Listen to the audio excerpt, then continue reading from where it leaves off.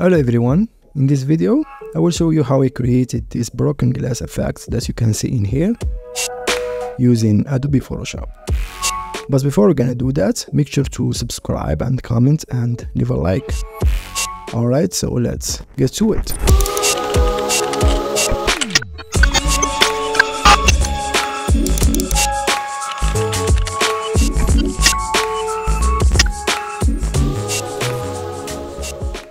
Okay, so let's go and open Photoshop and then I will go to File, New, and I will keep the resolution set to 4000, the height 3500, 72 in the resolution and RGB in the color mode, and I will press OK. Alright, now the first thing that uh, we are going to do is to create a background. So I will go to adjustments and I will choose Gradient. and As you can see, we have colors to transparent in the gradient. So I will one click and open the Gradient Editor and then I will select this color stop in here. And I will keep the color set to this blue.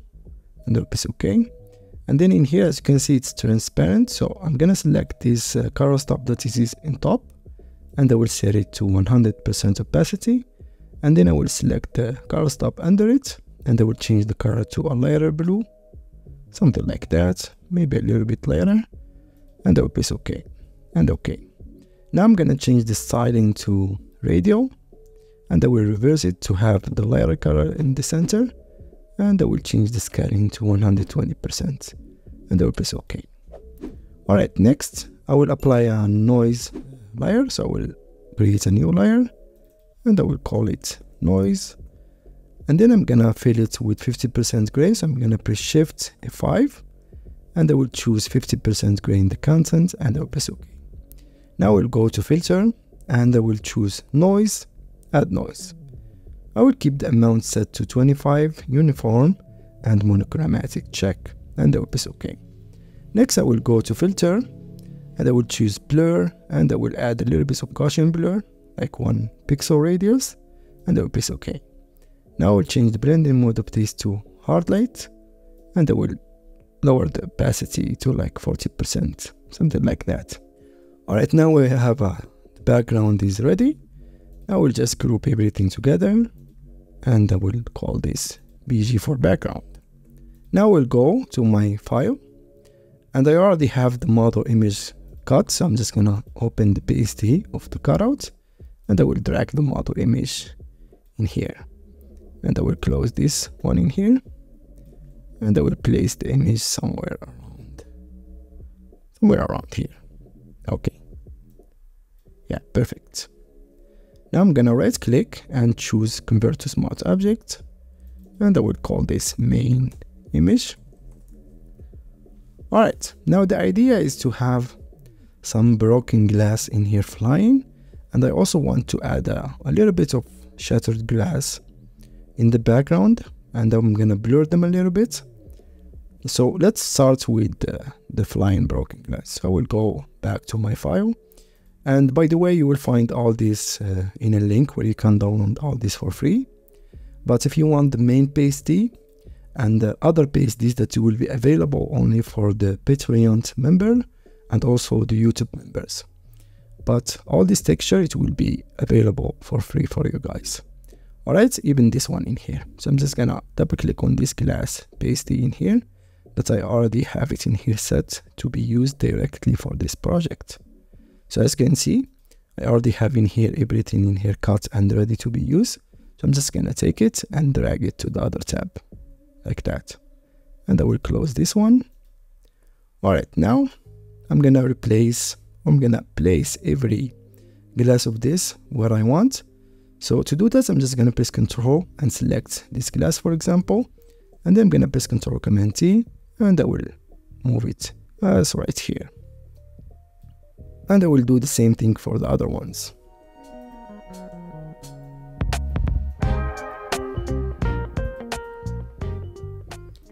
Alright, something like that and of course you can always go back and modify this if you want. Alright, now the idea is actually is to put um, a part of the image in each one of these one in here that we have. In total we have six, so I want to put the same image or you can use other images if you want to put them as a reflection of the glass in here. Alright, so To do that, we need to cop to make a copy of uh, the main image like uh, six times. So I'm gonna press Ctrl Command J six times. One, two, three, four, five, six, and I will name every one of them. Let's see. All right, now we have them all named. Now, uh, the idea is, in here is actually to make each one of these uh, with the same shape of the glass. We're gonna apply it uh, as a layer mask. And I already have in the glass folder in here the alpha glass of each glass in here. As you can see, glass 1, glass 2, until 6. All of them, they have their own alpha and they are linked to each other. So if you move one, uh, the other layer, it will move with it. Alright, so let's start with the glass 6. I'm gonna press Control or Command and I will one click on this glass 6 alpha, which is this one, and I will select, I will make the, the 6 image available and I'm gonna apply a layer mask on it by one click on this layer mask and as you can see we have a layer mask applied with the same shape and to move the image separately, you need to unlink this link between the layer and the image. And to do that, it's quite simple. You can just one click on it and then select the main image and press Ctrl Command T and make it whatever you want. You can even right click and make it to flip vertical and maybe you can make it look that it's flipped like just like that. Yeah, I think I will keep it something like this. I think it looks interesting. You can also make it smaller if you want. Yeah, something like that. So I think I like that. And then we want to click on this check mark. Alright, so I will keep doing that.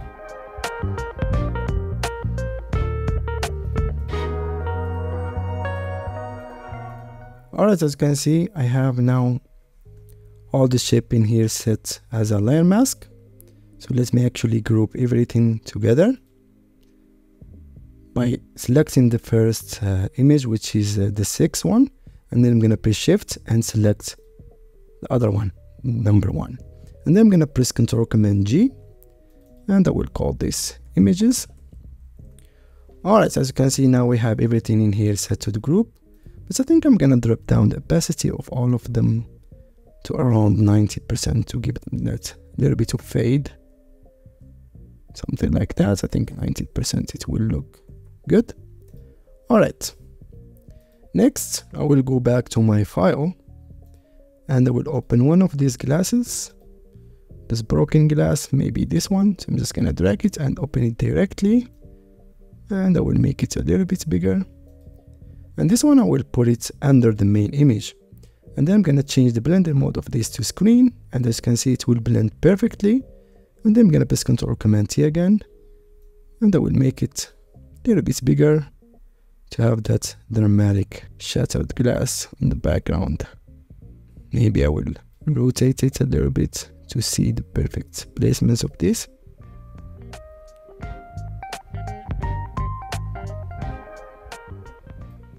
Yeah, I think I will put it around here and then I'm gonna go to filter, blur and I will apply a Gaussian blur quite a bit to have it blurred in the background, but not that much. Maybe 15 pixels, I think it looks perfect. Now I will go back to my file and I will open the other one, this one. So I'm just gonna drag it and open it in here. And I will change the blending mode again to screen. And I will make it bigger. Maybe rotate it a little bit. Yeah, something like that and then I will go back to filter again blur Gaussian blur and I will keep it 15 and the last one I think I will put it around here. So I will go and open this one.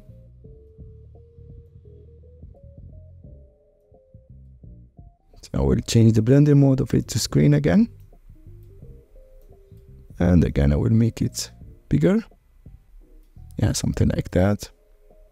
And again filter blur Gaussian blur. Yeah, I will keep it 15 pixels. Maybe a little bit down. Like 12. And that would be okay. Alright, if you think this is too much, you can always delete one of them. but for the tutorial I think I will keep maybe I will move this one maybe I will replace it with something like this. I think it will look more interesting. Ours I think it looks nice. I'm not really sure about this one so I'm just gonna keep playing with it.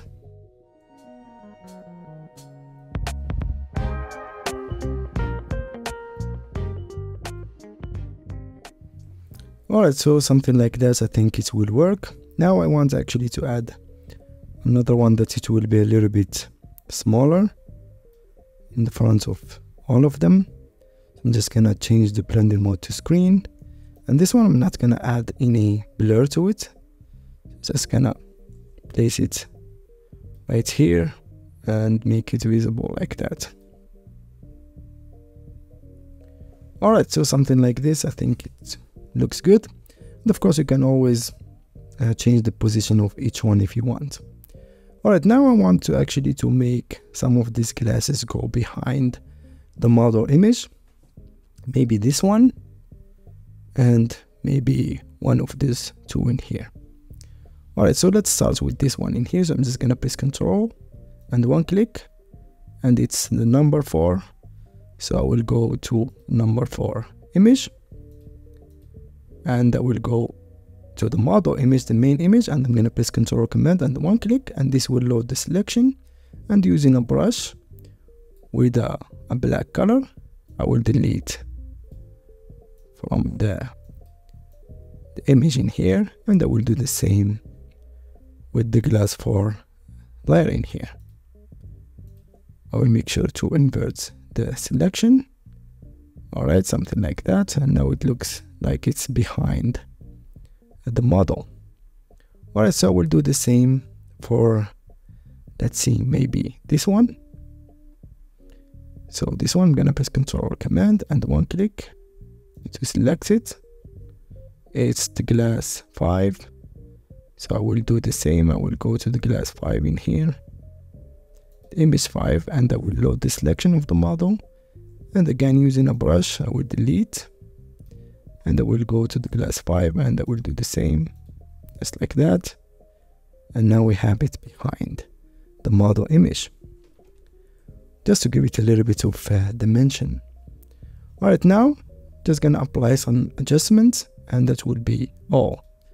Alright so let me actually make everything in here clean. So I'm just gonna select all this broken glass and I will make them as a group and I will call this glass let's call it less 2 all right. Now we'll go and uh, apply a gradient map. So we'll go to adjustments and choose gradient map. And I will change the colors of the gradient maybe this blue. I will make it a little bit darker somewhere around here. And I will press OK and I will select the second color stop. And I will apply like a, a brownish between brown and yellow color. Something like this. I think it will look really nice. Yeah something like that. I think I like that. Maybe I will make it a little bit lighter. Ah, and hope it's okay okay. Now I'm gonna change the blending mode of this to soft light and I will put the opacity set to zero and I will go up a little bit to see where I want this to be. And maybe something like that around 40% I think it looks really nice. Now the other thing that I want to do is to add a, a little bit of fade to the whole image. So to do this I will go back to adjustment and will choose solid color and I will change this, uh, the blending mode of this to exclusion and I will change the color to something like yellowish to orangey color. Like that. Maybe desaturate it. And I will press OK and then I will drop down the opacity and I will make it around 14% just to have that fade of the image. Alright next I will I will add uh, another layer on top and I will call this light. And then I will go to gradient in here and I'm gonna sample color from the background. For example here I'm gonna sample this color. And as you can see I have the gradient in here set to color to transparent. And also in here I have it set to radial. Alright and then I'm just gonna go to the ear. And I will one click and drag to make this color in here and I will change the blending mode of this to screen and I will do the same in this area I will sample color of the background and I will one click and drag and because we have it set to screen it will add a very nice light to the whole thing. And maybe in this part in here I will sample this color and I will one click and drag and one more maybe in this part one click and drag. All right now I will do one more in this part in here because it's a little bit dark. One click and drag. And then I'm gonna drop down the opacity to like 70% or 60% alright I think it looks really nice. Now I want to add a little bit of blur to the whole image. And to do that we need to make a stamp visible layer. And to make one you need to press ctrl shift alt e all together on your keyboard or command shift option e all together and then you can make a stamp visible layer and let's call this blur. And then I'm gonna right click and convert it to smart object just in case. And then I would go to filter blur gallery and I will choose iris blur. Alright so I'm gonna make this circle a little bit wider because I don't want the blur to affect uh, the main image and I will go a little bit exaggerated with the blur around 45 and if I press alt or option I can actually adjust this point in here. Alone you can see you can put it up or down. And maybe I will make the circle a little bit wider. And I will press alt or option and I will make it a little bit here to make this effect in here. And I will do the same for this part maybe a little bit inside and this one I will put it a little bit outside. And this one too. All right. And I will do the same for this part in here because I want to be a little bit inside for this part in here. All right I'm happy with this. So I will keep it like this and I will press OK all right now let's group everything together and let's see before and after the adjustments. Yeah I think it looks really neat and that would be our tutorial. So I hope that you enjoy and you like this tutorial and it was a little bit helpful for you. Don't forget to subscribe and comment and you know wait for more tutorials to come and have a nice day. Thank you for watching